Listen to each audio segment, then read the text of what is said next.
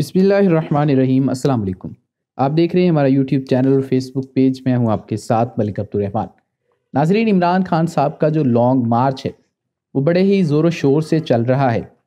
और अब उन्होंने कल एक ऐलान कर दिया है और तारीख दे दी है फ़ाइनल कॉल की। और पाकिस्तानियों से उन्होंने कहा है कि 26 अक्टूबर को सारे लोग रावलपिंडी पहुँचे। अब ये जो है बड़ा ही इंटरेस्टिंग होगा आने वाले दिनों में। कि तहरीक इंसाफ इस मामले को कैसे हैंडल करती है। कहने वाले तो ये भी कहते हैं कि बातचीत हो चुकी है और ये जो लॉन्ग मार्च है, शायद इसकी अब ज़रूरत भी दाँ पेश आए, क्योंकि नया आर्मी चीफ लगने वाला है और तहरीक इंसाफ के पास एक ऐसी की थी जिसका उन्होंने सही टाइम के ऊपर इस्तेमाल किया और वो है सदर पाकिस्तान। क्योंकि सदर पाकिस्तान के दस्तखत से नया आर्मी चीफ मंतखब होना है। तो बताया ये जा रहा है कि सदर पाकिस्तान को भी नए इलेक्शन की एश्योरेंसेस करवा दी गई हैं और क्योंकि तहरीक इंसाफ ने उनको नामजद किया था और कहा था कि जो भी मुजाकर होंगे, वो डॉक्टर आरफ अलवी के साथ होंगे। तो डॉक्टर आरफ अलवी से इसाक डार की भी मुलाकात हुई है और अस्करी जो हुकाम हैं, उनकी भी मुलाकात हुई है। और अब पाकिस्तान का जो मीडिया है, वो रिपोर्ट कर रहा है कि दो डेटें ऐसी हैं जिनके ऊपर इलेक्शन के बारे में बात हो रही है। एक ये है मई 2023 और दूसरी है मार्च 2023 इमरान खान साहब का मुतालबा है कि मार्च 2023 में इलेक्शन करवाए जाएँ, जबकि ये जो पीडीएम की हुकूमत है, इनका ये है कि हम मई 2023 में इलेक्शन करवाएँगे। अब देखते ये है कि इस हवाले से किसकी बात मानी जाती है। शायद इमरान खान साहब की बात मान ली जाए 26 को वो रावलपिंडी जा रहे हैं, इस्लामाबाद नहीं जा रहे, आगे का लाहे अमल उन्होंने रावलपिंडी जा के बताना है। तो क्या लाहे अमल हो सकता है? इसके ऊपर सबकी नज़रें होंगी। उनतीस को नया आर्मी चीफ लगना है। तो अगर इमरान खान साहब पिंडी में धरना दे देते हैं और इलेक्शन की तारीख लेकर आते हैं तो नू लीग एक मरतबा फिर से अपने पुराने बयानिए पे चली जाएगी और फ़ौज को इस्टेब्लिशमेंट को बुरा भला कहना शुरू कर देंगे।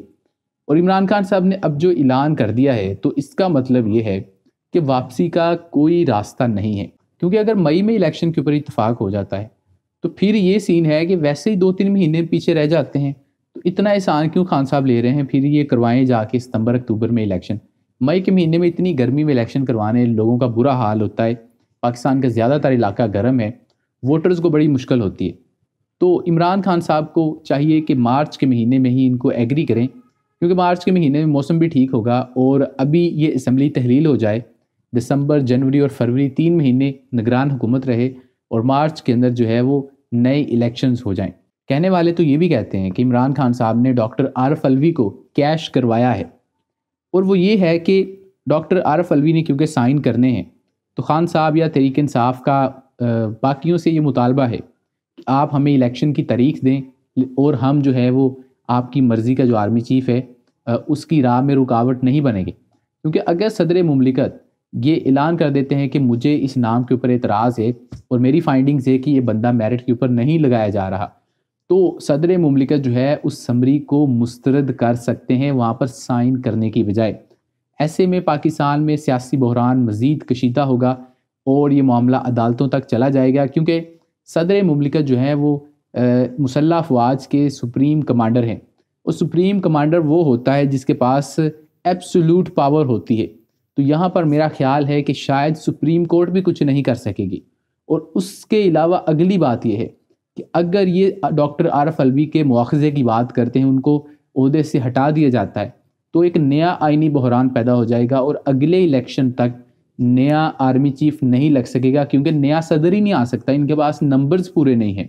यानी ये सदर को हटा सकते हैं, लेकिन अपना नया सदर नहीं ला सकते जब तक इलेक्शन नहीं हो जाते। तो मेरा ख्याल है कि कुछ दो, कुछ लोगों की पॉलिसी के ऊपर अब फाइनली अमल हो जाएगा और इलेक्शन जो है वो शायद अगले पंद्रह दिन के अंदर आप ये बात नोट कर लें कि शायद इलेक्शन की तारीख का ऐलान हो जाए। इस सूरत में अगर इन्होंने अपनी गलतियों से सीख लिया है, लेकिन अगर इस्टेब्लिशमेंट ने गलतियों से नहीं सीखा और उनका इरादा है कि इस लड़ाई को आगे जारी रखना है तो इसमें सिर्फ़ और सिर्फ़ पाकिस्तान का नुकसान है। पाकिस्तान का इसमें कोई फ़ायदा नहीं है और ये मामला जो है मज़ीद कशीदा होगा। लेकिन अब हालात ऐसे दिखते हैं कि इलेक्शन की तरफ़ हम जा रहे हैं क्योंकि इलेक्शन कमीशन ने भी तमाम सूबों से लिस्ट मांग ली है काबल अफसरों की, जिनको इलेक्शन में तैनात करवाना है तो उन्होंने अपनी तैयारी जो है वो पहले से शुरू कर दी है। तो इससे पता ये चलता है कि शायद जो है वो अब मामला हल तलब हैं और ये मामला जो है बड़ी जल्दी हल होने के करीब हैं। तो देखते हैं कि आने वाले दिनों में पाकिस्तानी सियासत में क्या डेवलपमेंट्स होती हैं और क्या इमरान खान साहब इलेक्शन की तारीख लेने में कामयाब होते हैं या नहीं। वीडियो को ख़त्म करते हैं, आप हमें कमेंट सेक्शन में अपना फीडबैक दे सकते हैं। इसके अलावा इस वीडियो को लाइक और शेयर कर दें, और अगर आपने अभी तक इस चैनल को सब्सक्राइब नहीं किया तो चैनल को सब्सक्राइब कर दें और बेलाइकन को क्लिक कर दें। मिलते हैं आपसे अगली वीडियो में। मुझे इजाज़त दीजिए। अल्लाह हाफिज़।